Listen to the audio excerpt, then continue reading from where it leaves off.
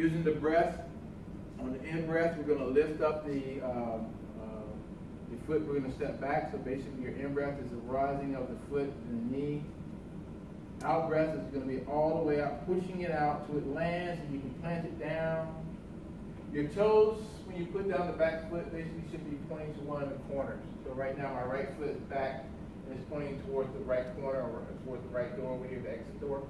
So if I go to the left side, it's going to be pointing towards the uh, little side exit over here. Okay?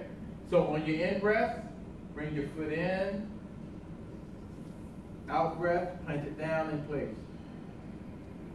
Shift your weight over. Breathe in, lift up the knee. Breathe out, push it out. Pay attention to where your head leads. Breathing in, drawing the foot, lift up the knee. Breathe out, back to the center, pushing over to the opposite side. Breathe in, lifting up the heel, knee. Breathe out, push out, into place. Breathe in, drawing back, drawing knee back up.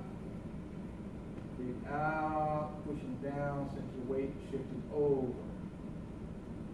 Breathing in, be conscious of your head. Make sure you're not leading with your head going forward. Sink your weight down, making sure your head and neck stays over your shoulders. Your shoulder over your hip. Breathing in, coming back up.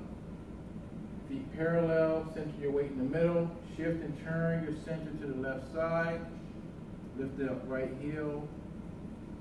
Step back. Breathing out, sink your weight down your full foot. Breathing in, lifting up.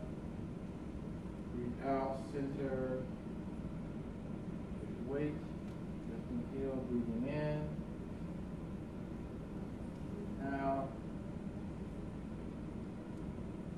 Breathing in. Relax.